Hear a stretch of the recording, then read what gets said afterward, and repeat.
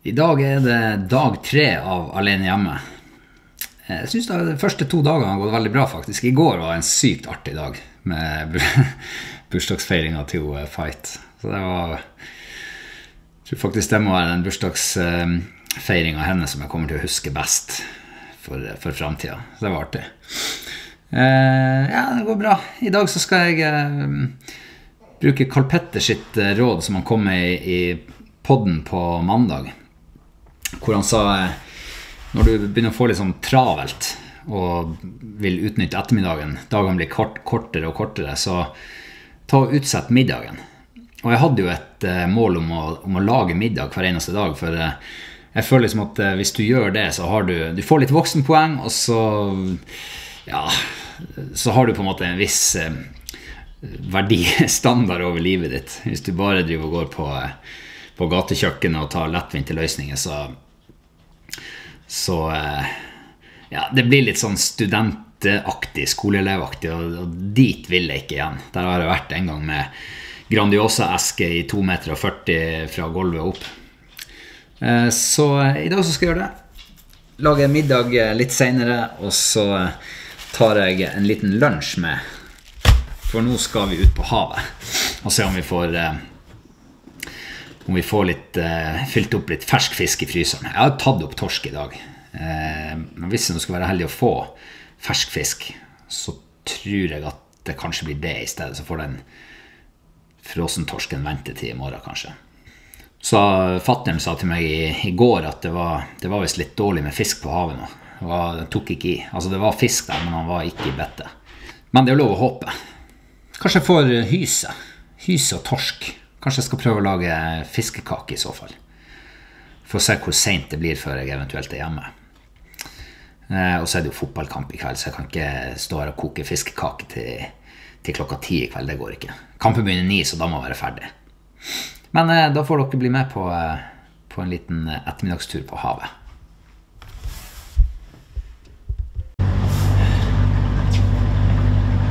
Altså, det her var jo helt rått. Blankstille på sjøen. Og eh, fin temperatur og Nei, det her lover virkelig bra. Fin, eh, fin ettermiddag. Hadde fisken vært i betten, så hadde det vært helt perfekt. Hysj, der ligger det noen båter.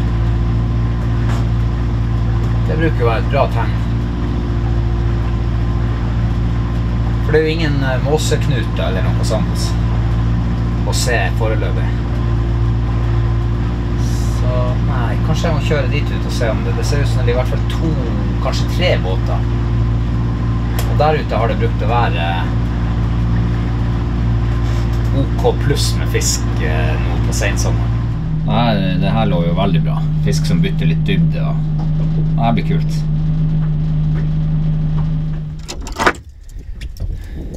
Oi, shit, hva fisk det er her. Helt blått fra 40 meter nedover. Jeg får ikke fisk nå, da Se. Så er det sånn snøre som har eh, forskjellig farge per ti meter. Så det er ganske lett å eh, bestemme Altså se hvilken dybde du fisker på. Nå skal jeg bare ned til Der var jeg på 30 Der, kanskje. Der kommer det fisk opp til 35 meter. Så jeg slipper ned til 40. Der. Hmm, det der ligner veldig på eh, sånn som Storskeien var i tidligere i sommer. Ganske sånn eh, markante blå streker som skifta dybde i, i vannet. Nå er jeg på 40 meter, og der er det. Der pekte fisk. Men spørs det om de tar i. Det var det fattern sa, at det, det var masse fisk å se, men eh, de tok ikke i.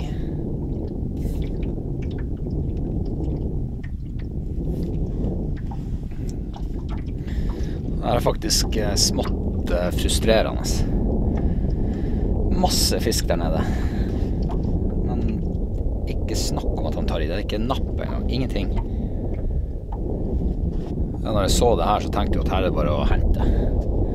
Bare å hente fisk. Ja, ja, ja, ja. Han er ikke stor. Men eh, kanskje det er matfisk.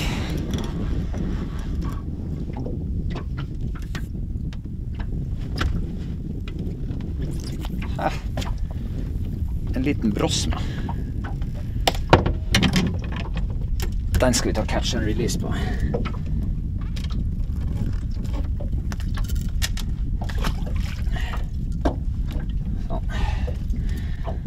Kan det være brosme? Går brosma i stim, da? Det visste jeg i så fall ikke. Men det er jo en torskefisk. Og slippe ned igjen. Skal vi ned til 50 meter. Der er det snakk om. Det er altså så mye fisk der nede. Fra 40 meter og ned. Og der! Der! Og den er stor! Oh, den skal ut! Det her må være ordentlig fisk. Oi, oi, oi, oi, oi, oi. Ah, yes. Der var den plutselig ikke så tung mer. Æsj, der kommer den opp. Bare med der skal den ut igjen. Oi. Ja, det er jo litt mer kamp i den her i hvert fall. Er det sei, kanskje? Kanskje jeg skal gjøre klar klepp? Der kommer den. Å, det er Det så ut som en sei, det der.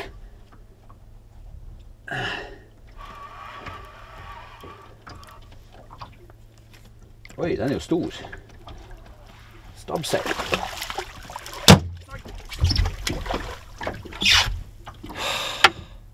Det går an til å være så dum. Herregud, altså. Nei. Ah. Den, den er til for å brukes. Ja, det var fin sei. Tre, tre kilo, kanskje.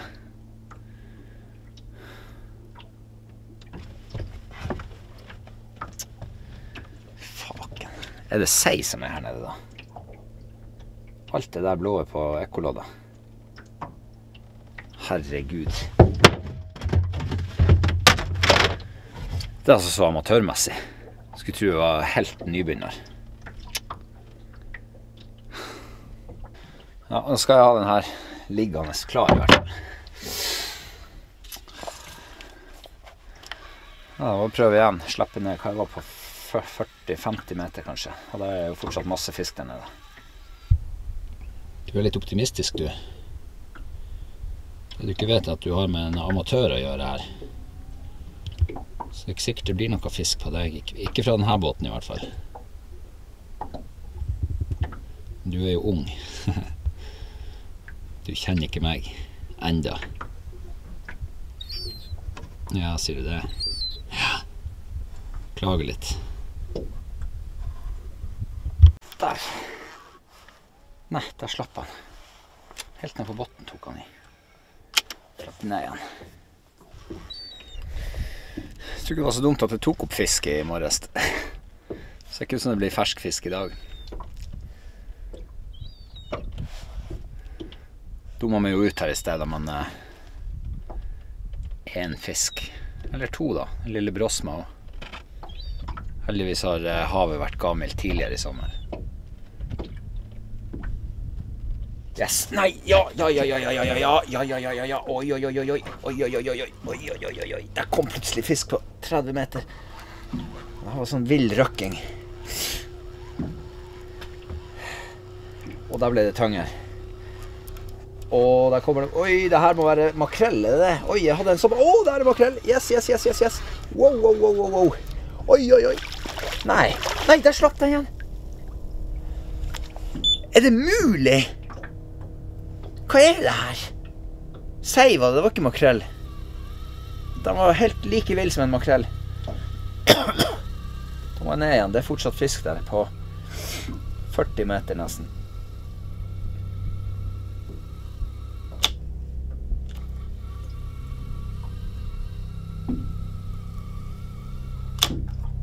Der. Kom igjen. Jeg hadde makrell på her tidligere i sommer. Fikk en. Den var Den svømte imot meg oppover. Jeg måtte sveive det remmer og tøy. Og akkurat sånn her gjorde den her òg. Men det var en små, småsei. Litt stor småsei. Nå når jeg var på tur å pakke sammen, så Bite på fiskene, det er jo bensin på bålet, det. Jeg prøver fem minutter til, da. Da slutta det å nappe igjen. Jeg tror nesten jeg gjør alvor av å fære på land. Nok får være nok.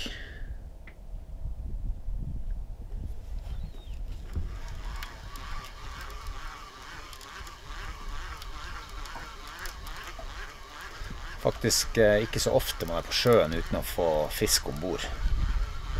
Nå har jeg mista to i vannskorpa, det var irriterende. Så jeg har jo hatt sjansen.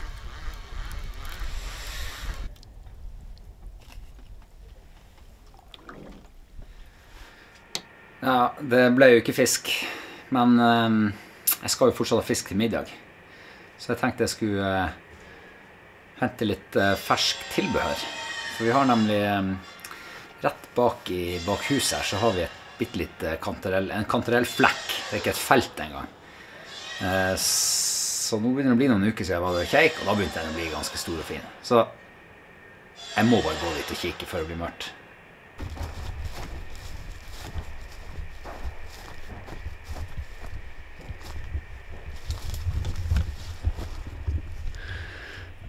Og nå tror jeg faktisk ikke at jeg kan eh, filme noe mer om hvor jeg går, for eh, det der er sånn fin, eh, fin plass å bare hente til middagen hvis du vil ha fersk. Slipp å gå så langt. Så jeg må, jeg må skru av bitte lite grann nå. Skal vi se. Her skulle det være en plass. Se der, ja. Oi, oi, oi, oi. Se hvor mye. Oi, oi, oi, oi. Her er det til mange middager. Så det er bare om å gjøre ikke trø ned det vi ikke skal ha. For det her var Oi, de er store fine. Jeg må skjære litt.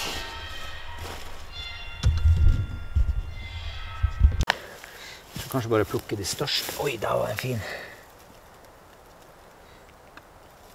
Så er de så De er så fine på, på denne tida. De er så utrolig sånn der Den er ikke sånn lysegul fordi at det er så fuktig i marka, gjerne på høsten. Og da blir det Det er akkurat som de blir mye mer friske i fargen, da. Så jeg tror bare jeg skal ta en fem-seks stykker. Så kan jo spiskammerset bare stå her imens Ja, vente til neste gang jeg trenger. Altså Soppplukking det er jo noe med det kuleste som finnes.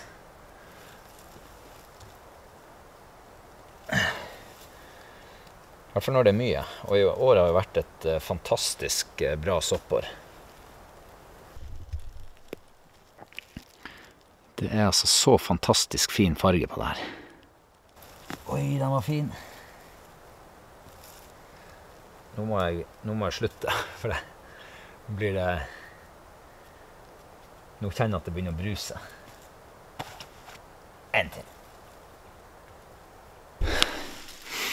Yes. Se her. Åh, to minutter.